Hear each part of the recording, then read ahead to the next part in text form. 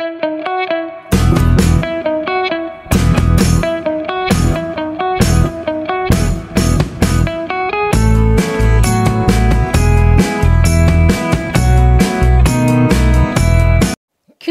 பெண் தர முடியாதுன்னு முனிஷ்காந்த் மாமனார் கல்யாணத்தில் ஒரு பெரிய குண்டை போட்டிருக்கிறாராம். தமிழ் சினிமாவில் பல திரைப்படங்களில் சிறு சிறு கேரக்டரில் நடித்து ரசிகர்களிடையே மிகப்பெரிய அளவில் வரவேற்பை பெற்றவர் தான் யார் அப்படின்னா நடிகர் முனிஷ்காந்த். முண்டாசுப்பட்டி என்னும் திரைப்படத்தின் மூலமாக அதிக கவனம் பெற்றவர் நடிகர் முனிஸ்காந்த் அதைத் தொடர்ந்து அவர் தற்போது பல தமிழ் திரைப்படங்கள் நடித்து வந்துட்டுருக்காரு. சினிமாவில் காமெடியில் கலக்கி வரக்கூடிய இவருக்கு வில்லன் வேதத்தில் நடிக்க வேண்டும் என்று நீண்ட கால் ஆசை இருந்திருக்கு.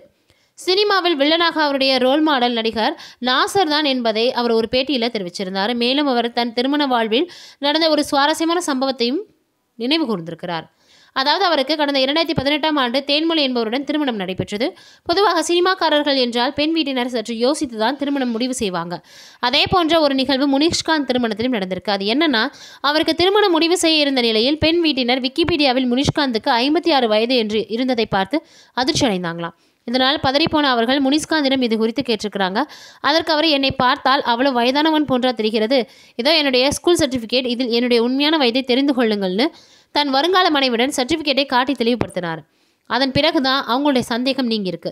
மேலும் அவர் என் வாழ்க்கையில் விளையாடுவது விக்கிபீடியாவுக்கு அவ்வளோ ஒரு சந்தோஷம் போல உண்மையில நான் ஆயிரத்தி தொள்ளாயிரத்தி எழுபத்தி எட்டில் பிறந்தேன் என்று கலகலப்பாக சொல்லியிருக்காரு.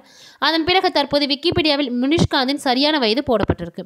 அவருக்கு திருமணமான புதிதில் ஐம்பத்தி ஆறு வயதில் ஒரு நடிகருக்கு திருமணமா? இவ்வளவு தாமதமான திருமணம் ஏன் என்று ஊடகங்களில் பல செய்திகள் வெளியானது குறிப்பிடத்தக்கது.